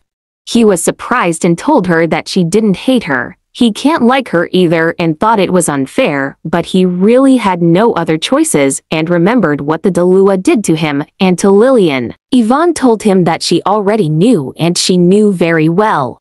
He remembered it was the same she said during the wedding day with the same facial expression, but this day is very different. He knew that it wasn't her fault. Yvonne revealed that she understands him and he didn't have to do so in such length. Carloy returned the question to Yvonne who seemed to hate him so much, but Yvonne revealed that she didn't hate him. He was relieved that he was hated by her and asked to come to his palace if she was uncomfortable but she refused. Walking back to the queen's bedroom, Carloy asked her what kind of father is the duke to her. She hesitated and answered that he is just like the other fathers. He concluded that Yvonne is not as close to the duke as what he exaggerated. Next in the morning, the Marquis of Roden was anxious that the neutral nobles immediately sided with the Duke within a few days. He asked the Emperor about his plan to take advantage of the Queen, but it seems that he was the one being used. At this rate, the law abolishing the imperial queen concubine will be passed. The Emperor reminds him about his voice. The Marquis asked if it is really necessary to get close to the Queen. He answered that even if they or the Duke mobilize the army, there will be a civil war, and it will be the queen who can give him the information he needed. The Marquis was hesitant if Yvonne will do that, but Carloy assured him that he needed to make it possible and what he wanted the Marquis to do is keep an eye on the merchants and nobles. Carloy really needs to increase his supporters. The Dalua and Anson are in the same boat while Croydon and Roden shook hands still there is only one left he needs help with. Kiana also added that the Dalua army can't mobilize their army if the Margrave of Markia is still in neutral. The Emperor knew that the Margrave Markia wouldn't support him as he is an important person in the defense of the border. Kiana asked what he will do, will he get help from the Duchess Duenya, but some say she was mentally retarded but others said that she passed away quietly. Carloy told her that he will take care of that part and reminded her to do her part in keeping an eye on the queen and to find the smallest trace on that incident. He also added to search for a pin with jewel since the Duke can't destroy it since it was a royal treasure containing ancient magic. Kiana told him that they need to search directly into the Dalua territory and suggested the help of the Queen, but Carloy revealed that Yvonne still doesn't quite believe him. She recommended spending more time at least three times a week with Yvonne, much better if it is every night. Gordon informed Carloy that the Duke of Dalua wants to talk with him. He asked the reason for him coming to see him, the Duke directly told him that he wants to reopen the nobles' parliament and suggested not to delay it. Carloy looked at his arrogant face who seemed to fully plan the law abolishing the imperial concubine. He told the Duke that even hell will not accept him. The Duke sarcastically told him that no one can understand his heart other than him and that his orders were like this. The Duke's smile disgusted Carloy as he remembered his encounter with the Duke when he was a child. Carloy thought the Duke smiled because he really likes him, but he knew better now that the Duke's smile is only a mask. He asked if he really wanted him to hold a meeting for the House of Peers, but explained that he can't just give it without getting anything in return. The Duke told Carloy that if he accept one condition then he will leave Roden's business alone and asked to spend the night with the Queen in the Imperial bedroom as soon as possible. Carloy remembered the imperial bedroom where her mother, together with a baby in her womb died. He asked the Duke really think that public opinion will easier to move that way because it will seem like he finally accepted the queen and submitted to him. Duke Dalua replied that he was only suggesting a natural event and will leave Rodin's business if he do his part on sleeping with the queen. Carloy reminded him that he haven't won just because his daughter is next to him and what he values is in his hands. Duke Dalua laughed and said that anything that is not most valuable is meaningless. Carloy was confused asking that the queen means nothing to him, the Duke explained that it isn't what he means but situations can always change. He reminded him the previous king and queen who were harsh on him with studies as they believe Carloy resembles his grandfather too much who almost brought the country to ruins because of love. He added that the king is not different with his grandfather, he just haven't go berserk yet. Carloy told him to hope he wouldn't go berserk because if her is, he will take the Duke's head. The Duke told him that his daughter inherited his blood and she won't stay still as the Emperor wished for too long. Carloy paused from what the Duke said while he told him to let the Queen who was loved so that she wouldn't be like her father. The Duke was staring at Yvonne intently and told her he was sure the king didn't lay a finger on her and asked if he said anything. Yvonne revealed that he didn't say much and just wanted not to hate her. The Duke believed Carloy was trying everything and told Yvonne that it was time for her to meet her mother, but she needs the king's permission first. She was shocked while the Duke said that she has to make a good excuse for going to Dalua territory since I's very far. He informed her to take the king's permission first and reveals that the king will summon her to the royal chamber soon and told her to take advantage of that opportunity. The maids showed many flowers that were sent by the emperor. Yvonne knew very well that Carloy doesn't even like flowers while she told the maids to relay her message of gratefulness for the gift. Carloy didn't bother to show his face, yet he wants to use her. Carloy was busy signing documents when he remembered what the Duke said to him about Yvonne who inherited the Duke's blood, and he is not sure how to react when he sees her. He was irritated that all he could come up with was sending her flowers, yet he had to take her to the royal chamber in three days. A man named Asal disrupted him. He was an orphaned war servant from Maha. He brought him when he was 15 and the only person he can confide in. Carloy asked for any report, while Asal told him that Verney was quiet and peaceful and there were no preparations for a war. Carloy thought that it was odd since Verney is a country that has always been building its army to attack Croissant, it's as if they were trying to show off that they're doing well. Ossel asked Carloy if there's anything he wants to know. Carloy told him to just tell him. Ossel was hesitant, but he eventually revealed that the person he was looking for wasn't in Verney even in Dalua. He explained that the place where the incident took place and even nearby villages were massacred by the Duke. Carloy was anxious and thought that their icy dark forest that they haven't investigated properly, but also revealed that he couldn't get there. Carloy was surprised and asked him to explain in detail. Asal explained that there is a spell cast on the forest to permit only blood relatives of the Dalua to enter.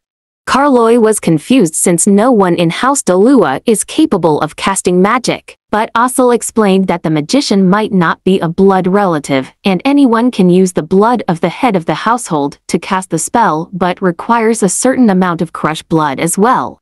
Carloy remembered that the royal families of each country are direct descendants of their very first ancestors however, Krua, which is the first ancestors of the Croissant are not the Croitans, but the Daluas. This is what started the power struggle between Daluas and Croytons. Ossel added that he has seen the place quite often when he was young and that the forest was not blocked off to hide anything and suggested to stop searching because there was nothing left there. Carloist ped him to speak, but Ossel insisted that the person he's looking for is already dead. Carloy believes that Lou definitely escapes from there and knows she was somewhere. Asal asked the importance of it since it was 10 years ago and it won't change anything. Carloy answered that it changes everything Whip seemed dejected and sad while asking Asal to leave him. The emperor asked his concubine the reason to see him. She told him that she already found someone who knows about the brooch he was looking for. A man of a jewelry shop in Dalua told them that he purchased the brooch 14 years ago from a dirty child. He thought that the brooch was fake and sold it in very cheap price. But soldiers from the Duke residence came to him with the brooch and interrogated him, then gave him a tremendous sum of money as a reward. Then one day, he ran into one of those soldiers at a pub and asked about the incident. Carloy clenched, while the woman explained that the soldiers told him that the child died because she was invited into a crime, but Carloy didn't believe it. The woman continued and explained that the soldier said that they killed the child's mother and burned down the entire village and piled the corpse and set them all on fire. Carloy shattered the cup with his hand after hearing those stories, and he can't explain his anxiety. Gordon suggested to postpone the night at the royal chamber, but he insisted that nothing happened to postpone it. His face is like someone left by soul and still wants to believe he didn't hear what might happen to Lou because he can't accept that nor this can't be the end. The 14 years he endured can't be in vain. While entering the royal chamber, he heard whispers calling his name and blaming him.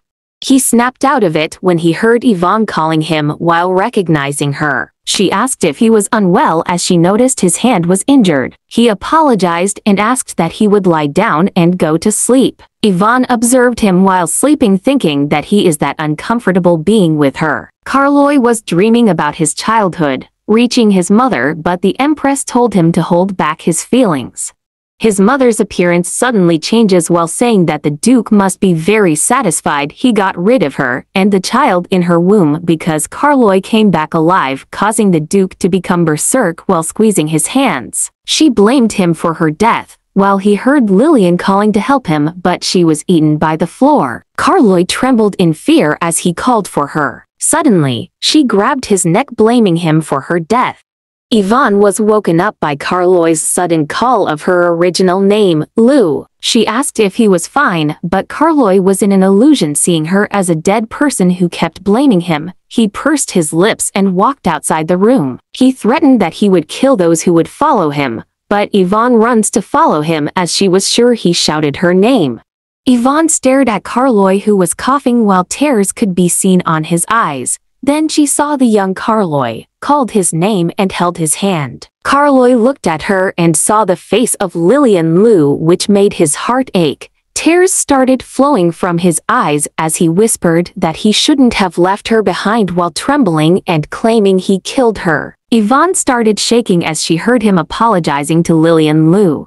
She can feel his anxiety thinking why he's still stuck in the past and why he was calling that useless name while she wept uncontrollably. Yvonne tried to reveal she was here and she didn't die because she was right in front of him, but the magician spell was stopping her to tell the truth. Carloy told her not to cry while looking at Lou, because I was all his fault. Yvonne couldn't say a single word, but she managed to weep together with him and share the burden in his heart.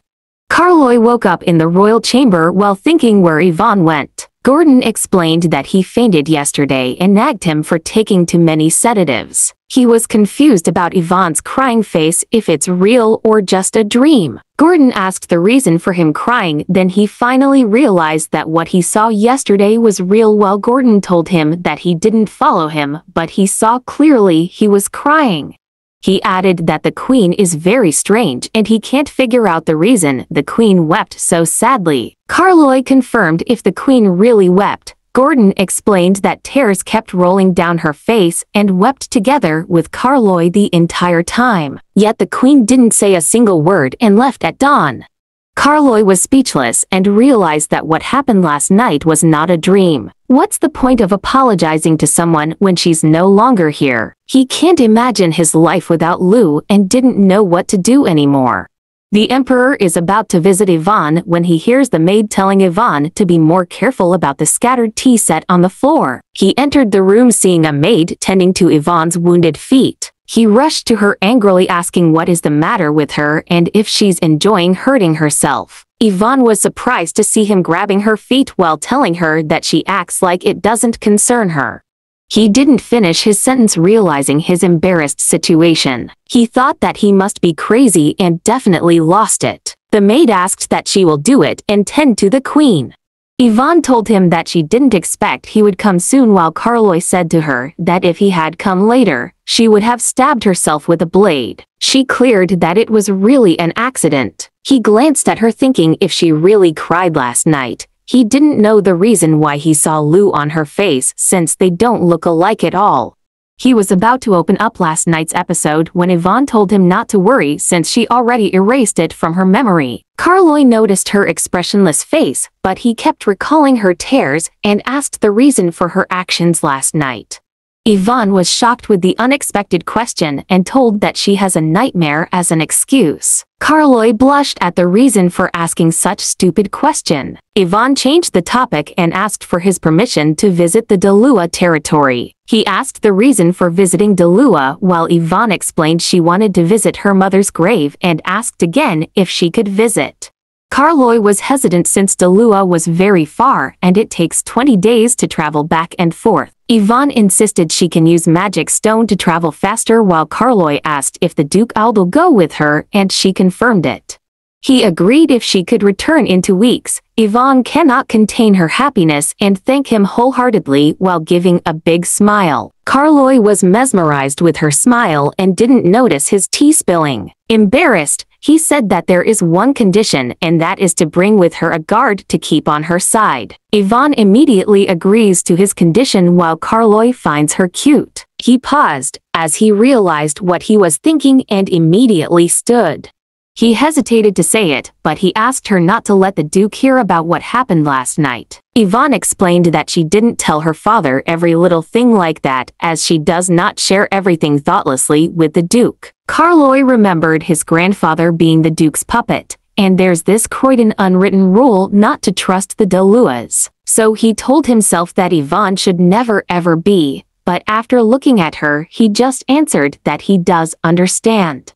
She was limping trying to see him out, but Carloy was worried and told her she didn't need to see him out, while Yvonne smiled and told him she's fine. Gordon asked if he really let her go to Dalua, but Carloy told him that it will be a good thing for him since he will be sending Ossel as the guard.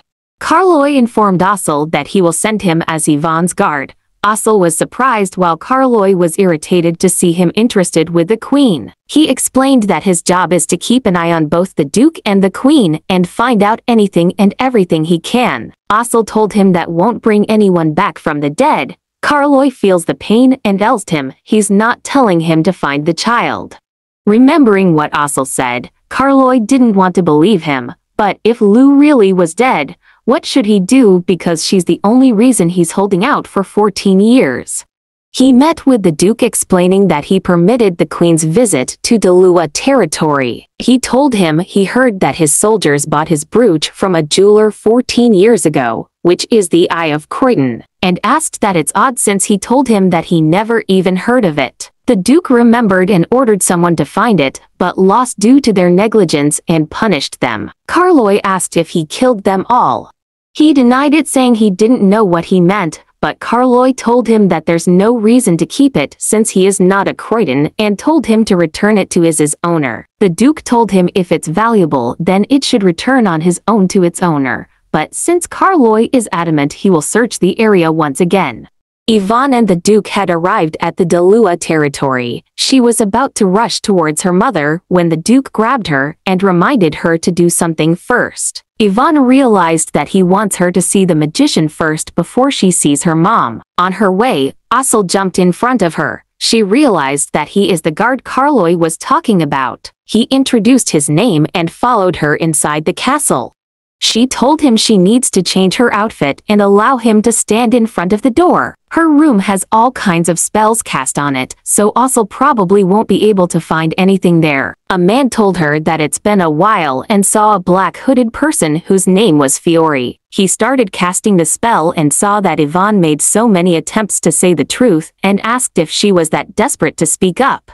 He told her she didn't need to worry because he will not say anything to the Duke, but it's best if she stops resisting, and reminded her that her mother is still alive, It's too early to try any funny business. Yvonne told him that she read a book that every few people can cast advanced magic even in Verney and asked the reason for following the Duke's order.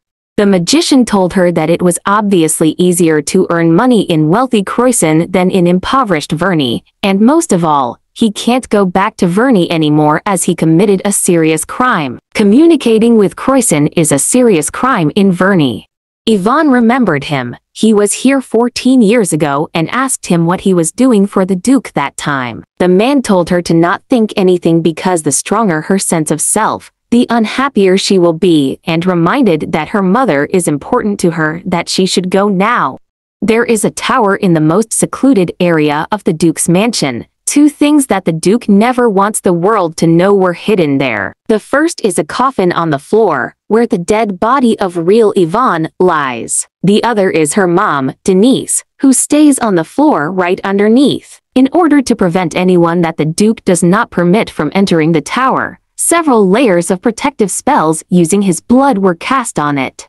Yvonne told Asel that he can't come inside because of the barrier. She told him that her mother's corpse is the only thing that lies there, but Asel hesitated. Yvonne told him that she would assume he had some duty other than to guard him. With this, Asel backed down.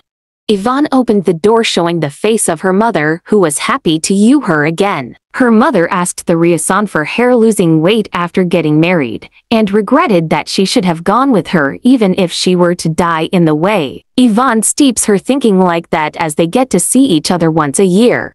Asel climbed up a tree to look inside the tower, but he couldn't see through the window. All that magic in the building screams that something is fishy there. He saw a woman getting outside the tower. The shocked woman informed him that Yvonne wishes to sleep in the tower tonight. Asel was surprised knowing Yvonne will sleep there with a corpse, but the woman corrected him that it was ashes not corpse. Asel still finds the tower really fishy. On the other hand, Carloy was imagining the young Lu, questioning if it's a dream, he holds her face thinking that H is alive because of her. He stopped when the child's face changed into Yvonne's face and he became confused. Yvonne reaches for him to kiss him. He then wheezes up from the dream blushing, claiming he has lost to have such a dream. This I all because of that night in the royal chamber. Have he already lost control because of his desperate desire for Lu to be alive? If he hadn't eaten her like that, he wouldn't be having those dreams. Still, how could he mistake the daughter of Delua for Lu? But most of all, why in the world was Yvonne crying like that? After that night, he can't see any resemblance to the Duke in Yvonne. He guess he won't be able to sleep since Yvonne is not there. Gordon was thinking if there has been something happening to the Emperor because all through the week, he has slept poorly and woke up so early. Carloy asked about minimizing the guards while Gordon told him that he already did after he mentioned Lexum Sorda and notified them that he wished to rest at the La Sordio Palace. La Sordio is a palace that was built in the territory of Lexum Sorda, which used to be the Solta Kingdom. Croyson royalty frequents the palace on vacation because of its beautiful scenery. The previous queen enjoyed that palace. Gordon asked Carloy if he planned to visit the Duchess Duenya. Carloy questions how he knows that Duchess Duenya is there since even the Deluas don't know about this. Gordon explained that he served to kings before. It was a confidential matter, however, he was the one who handled it. Gordon asked that Duchess Duenya nearly lost control since the passing of her younger sister, the previous queen, Queen Adelaide. He still remembers what she did the last time he saw her and questioned how could she possibly help him. Carloy answered that they will find out when they get there. They arrived at La Sordio. Carloy called Duenya. Alexis Duenya is the head of House Duenya, one of the founding families of Croyson. Gordon was surprised to see her, Rumors say she has lost control but looks absolutely fine. Duenya thought Carloy would never come to see her again and reminded him that he shouldn't seek her out unless he abandoned that girl. She told him that if everything he has done is not in response to the chaos the Deluas have brought upon Croyson, then they can't ever work together. Pathetic people like his grandfather, who only live for one person absolutely disgust her. He acted as if it did not matter if he died, but he seems that he's still alive. She reminded him about Adelaide, his mother who died for him, yet he behaves as though he owes his life to some nameless country girl. Carloy cleared that the situation is very different. His mother never attempted to save him or die on his stead. She was unlucky and happened to die instead of him, but that child who put her own life on the line to help him escape. He can't see how that's the same and he doesn't think he owes his life to his mother. Duenya agreed to him. When he was kidnapped, Adelaide indeed gave up on him and chose the child in her womb as the heir. Because Croyson would have been torn apart if the royal family had played into Delua's hands by starting a war, she lost her life because of bad luck, as what Carloy said, and nothing else. Who could have known that Duke Delua would suddenly poison her out of the blue?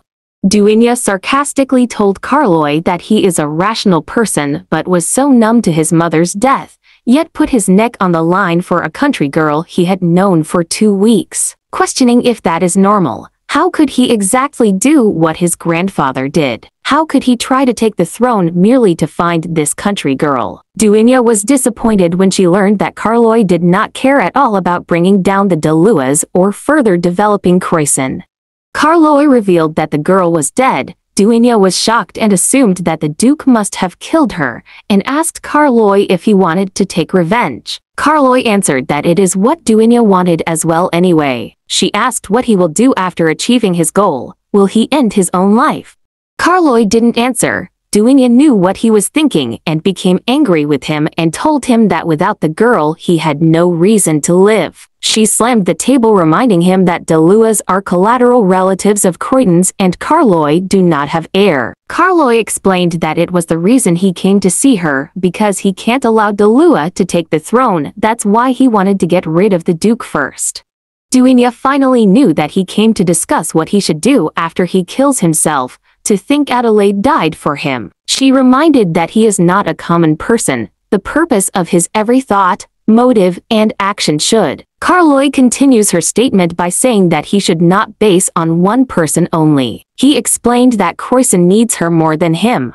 He showed a document stating that he planned to share his royal authority with the House of Peers. In that way, the fate of the country won't depend on the king alone and the Croyson will not fall to ruins because of one king's selfish decision. Duinia becomes speechless and asks to grant her the authority to dispose of the Deluas and allow her to get rid of the Deluas however she wishes. Carloy told him that she can do everything her way, but he will dispose of Duke Delua himself. Duinia told him to grant her the authority to dispose the Duke's daughter, so that she can put him in pain of losing someone he loves. Carloy asked if she really needs to be killed, and explained that if he can bring her over to their side, she might be a big help. Duinia claimed she didn't plan to kill her right away, but based on Carloy's response just now, it is even clearer she must have that authority since Delua's daughter seems to bewitch someone. Carloy explained that it is not like that, but Duinia insists that there's no reason for him to refuse. Carloy thought that Duinia is right and it's illogical for him to hesitate and should welcome her willingness to kill the queen. Duinia asked him what he will do. He thought that it's definitely the time for him to show her that tiresome rationality. No matter what anyone says, Yvonne is still a Delua and Lou died because of the Deluas, so he should hand her over. Carloy told her to do as she wishes, even if that means Yvonne will lose her life. Yvonne glanced at Ossel, she really wanted to stay in the tower with her mom the entire time, but the Duke told her to behave naturally because if she didn't come out of the tower, her guard from Maha would be suspicious. Ossel asked the reason for having many spells on the tower, and if there is really only a corpse there, why would they create all that fuss over one dead body? Yvonne glared at him, telling him that anyone would want to remain by their family's side, whether they be alive or dead. Ossel revealed that he didn't understand since he doesn't have a family. She realized that Maha was among all countries that overworked their servants. She asked that he is already the king's family seeing how he put him in charge of guarding her and seems that Carloy relies on him a lot. Ossel was flattered and asked if she was going around to look at the territory. She asked was what he was curious about and what did the emperor order him to do, and if he told her honestly, she would think about it and wouldn't tell the duke. Ossel was hesitating while she told him to at least persuade her, but he didn't answer. Yvonne is about to go to her room when Ossel stops her and tells her that the emperor is curious about the dark forest. She asked the reason of the Emperor's curiosity about the Dark Forest, since it was blocked off because of its dark magical energy and nothing will benefit them. Ossel told her that if that's the case, then they can go inside and reveal that he wanted to go not because of the Duke. Yvonne was thinking what it is that Carloy wanted to see there, then a flashback about Carloy telling her that he shouldn't have left him there, but there's no way he could have been searching for Lou for more than a decade. She can't even ask if he's searching for someone. She suddenly has a headache because of the spell. It seems that she needs to take him to the dark forest herself and see what he does to get an idea. She told him she'll think about it while Ossel thought that everything there was fishy even Yvonne's action. Count Lux Anson visited Kiana because neither the emperor nor the queen was present, so he had no choice but to call her. Kiana asked if his matter was urgent since he couldn't wait. Anson asked if she was aware that the war to conquer Maha has ended. Soon, the Croyson military will return and that person made it out alive again, so she doesn't need to worry. Kiana asked who he was talking about. Anson told her he was talking about Clyde Anson, his illegitimate brother. Kiana told him how he could call his brother a low life, his father would be sad in heaven. Anson told her just because his father allowed him to use their name, doesn't change the fact that he is a filthy bastard born by a servant in Verney. He doesn't know how he makes it out alive, but he will make sure he won't next time. Once he finds evidence about her and his brother, her life as a concubine will. Kiana didn't finish his sentence and told him to write a diary instead. Kiana asked him to write a diary instead of babbling on when she didn't even ask about anything and if he's lonely, find someone to marry. He was insulted and walked away. She became serious after Count Anson left. Kiana was anxious of how slow the process is. At this rate, Clyde will keep getting drafted into wars and end up dying. They need to bring the queen to their side no matter what. She's thinking what to do since the emperor is still a mess after spending the night with the queen. Yvonne was watching her mother sleep while thinking what the maid said about her mother's health became weaker. Whether Carloy wins or the Duke wins, this needs to end before her mother's health gets even worse. Based on what she has experienced so far, she can't rely on the Duke's whims or random consideration for her mother's safety. What about Carloy? Will he protect her mother and her even after getting rid of the Duke? She has to find out what Carloy really wants. She called Ossel and would take him to the dark forest. She can't walk a tightrope between the two without knowing anything. She asked the Duke's loyal servant to prepare a carriage for her, but the servant hesitated and told her the Duke will be worried since the territory is dangerous. Yvonne insisted that she was with the Emperor's guard and will explain to her father herself once he returned. The man agreed and prepared the carriage. Ossel was thinking why the Duke's daughter was doing this, and what was that awkward atmosphere in the Duke's mansion. They arrived at the boundary of the dark forest. Yvonne offered her hand to Ossel while he hesitated thinking that the Emperor might bite his head if he learned about this. He approached his finger to Yvonne, then they two passed through the barrier and told him that a lot of corpses were burned there. She remembered what she heard that it was the day after the severe rainstorm. Duke Delua's wife felt deeply disgraced upon learning that the Duke had an illegitimate child during their marriage and he had not gotten rid of the child after finding out about it. That was why she came into the dark forest along with her daughter, Yvonne to see her mother and her, the illegitimate child. But the Duchess could not have foreseen their unfortunate fate. Duke de Delua needed to take his anger and resentment out on something, eventually to her and her mother. So he took revenge by burning the whole forest together with the people living there.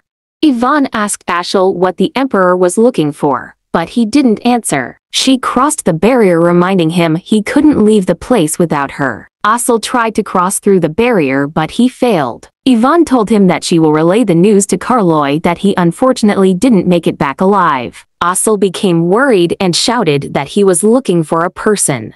Yvonne turned around and asked how long he had been searching, but she didn't insist on asking. Ossel became happy and thought if that's enough information for her. Yvonne resumed, asking what else Carloy was searching for. Ossel pursed his lips and didn't answer. She claimed how sad it is for the Emperor to be left alone. Ossel revealed that he is also looking for a brooch.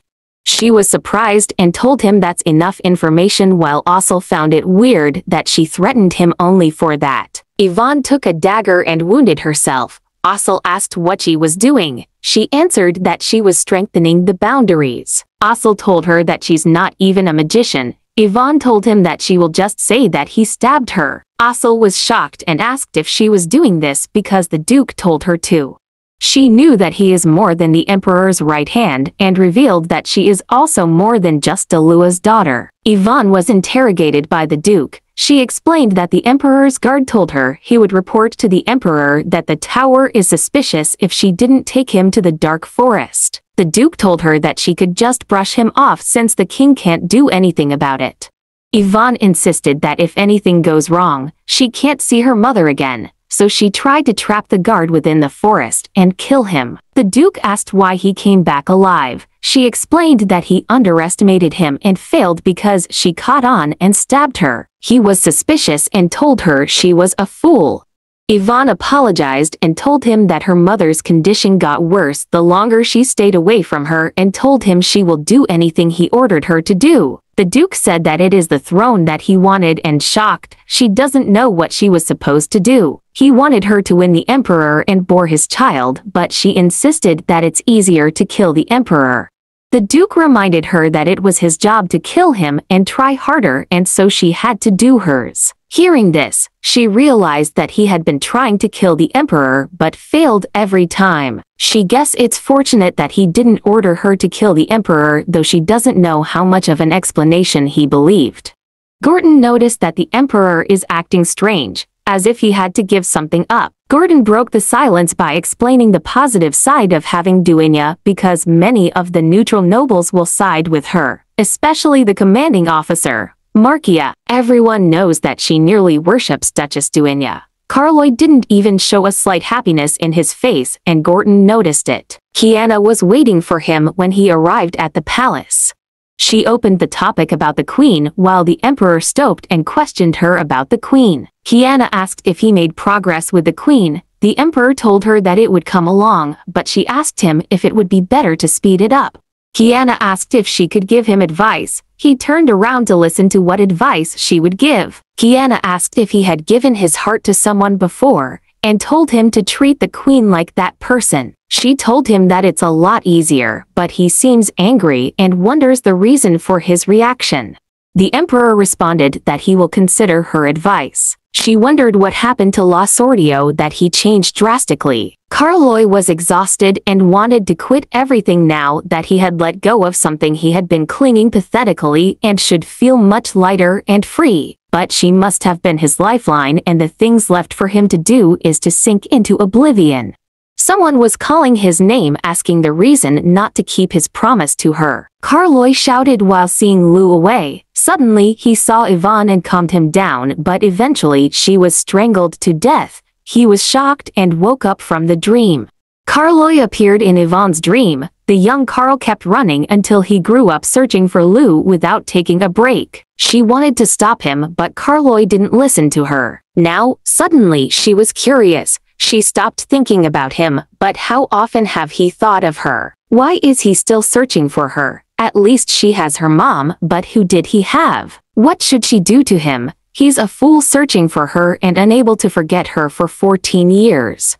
And when she finally gets down from the tightrope she's walking, what will happen to him? Yvonne came back to the palace while Carloy was remembering Kiana's advice to him, thinking that's easy to say. He saw Yvonne's face and remembered his dreams about her. She kept on calling him, but he was focused on her face. Yvonne noticed his face blushing.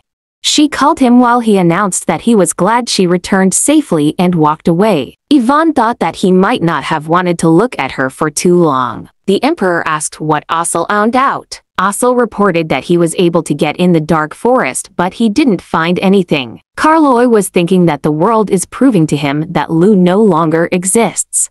Ossel added that there's a tower at Duke's residence and his wife's corpse is in there and the queen eats and sleeps inside. Carloy realized that she really meant it when she said she wanted to visit her mother. Ossel also explained that the tower was cast with an advanced spell and asked if Croyson had a magician of that caliber.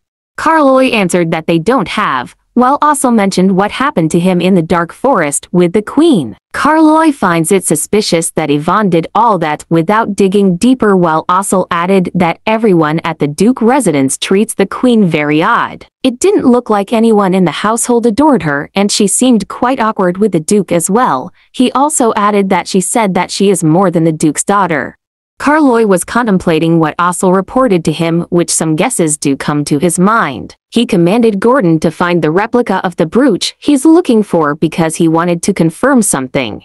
Many nobles were whispering about the emperor being negligent, since it has been so long since the House of Peers met. They were saying that the emperor has been getting along with the queen lately and it seems that he is finally giving in to the duke. He announced that electing the Lord Speaker should be valid only when candidates come forth from all four founding families in the empire. One noble explained that Duchess Duinia can't vote because she has not attended for the last 10 years, while the emperor disagreed showing Duchess Duinia in front of the nobles. She apologized for not returning sooner because she had to recover from her illness. The nobles whispered as they didn't expect it and didn't know what will happen on the actual day of election. The Duke asked why she's still alive. He thought she would follow her sister and told her he can personally send her to her sister's side and say hello for him. Duinia told him he will be going there before she does, but she doubts he won't get there and sees her sister because of his many sins. She told him that not only would it be her sister he wouldn't see but also his late wife. She mentioned that she will keep her promise she made 10 years ago. Duinia promised that she would come back for his head and asked him to keep his head. The Duke becomes furious cursing the Croydons for always destroying his plans. He can't lose to them again like last time and needs to make another way. Carloy explained that the Duke is possibly communicating secretly with Verney. Duinia doubted it while Carloy agreed but mentioned that he seems like he has been using Verney's magic. It also explained how the Duke was able to make a bizarre poison at some point. If he really did use Verney's magic, that is certainly a grave crime. Carloy believes that it could be magic from Maha or Verney. Either way, he can use that as evidence enough to make him disappear without a trace. Duinia understands that he will frame the Duke whether he's communicating secretly or not, but they don't have any evidence to start with or a person who can plant such evidence on him. Carloy asked if she knew much about the Duke especially the Duke's daughter but Duchess Duinia didn't know much about his daughter since he didn't let her leave the house. Carloy was speculating that they can't trust the rumor that he adores her, but Duinia explained that she already saw his child and made her convinced that he was a human after all. Carloy finds it odd that if the Duke really loves his daughter, could he really just leave her by his side like this? Carloy suddenly visits Yvonne and asked her if she enjoyed her time in their territory. She answered that she was and thanked him. He told her not to stab her hand or do anything else of the sort. Then he remembered her injuries last time. Carloy asked the reason for hurting herself and if she really wished to die while Yvonne disagreed, but she told him it would be better since he wished she were dead after all. He objected to it strongly and asked if she deliberately drank the poison for his sake, and reminded her of the concubine's coronation. Yvonne told him why she will do such a thing, but Carloy is also curious about it and asked the reason she did that. Yvonne was afraid if Carloy finds something out or any evidence against her, she was considering telling the Duke. Carloy questioned her behaving differently from the Duke, not hating him, and was daring to call him by his name, and most of all, why is she kind to Carloy? He approached her repeating the same questions and looked closer, but she looks nothing like Lou. Carloy told her he can't figure it out and asked if she hates him, but Yvonne asked the same question. Carloy revealed that he didn't hate her anymore and told her she keeps reminding him of someone. Carloy told her that he doesn't have a reason to hate her and asked to stop thinking that he does, that way, she will have another option, and mentioned what Ossel told him that she seems to want an alternative. Yvonne told him not to jump to conclusions while Carloy took the knife and asked her to kill him since this will be what's best for her father. Yvonne was trembling saying he was absurd. She explained that she simply did not wish to get involved in the fight between her father and him. Yvonne noticed the brooch that he was looking for while Carloy explained that it was just a replica. She was surprised. Carloy whispered to her stating that she seemed to recognize it and perhaps seen it before at home. He reminded her that he is one of her options now and he can give her what she wants.